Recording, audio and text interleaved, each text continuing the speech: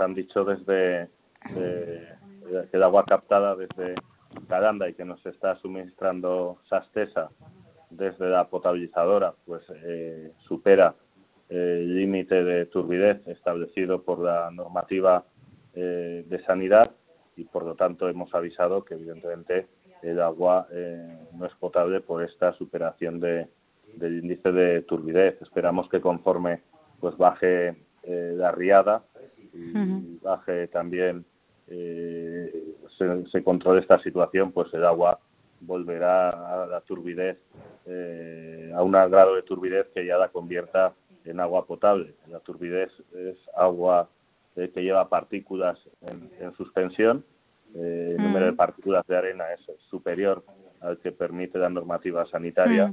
Y entendemos que cuando eh, pare eh, mm. conforme vaya para se vaya bajando la, la riada, pues evidentemente bajará eh, las partículas arrastradas y bajará la turbidez.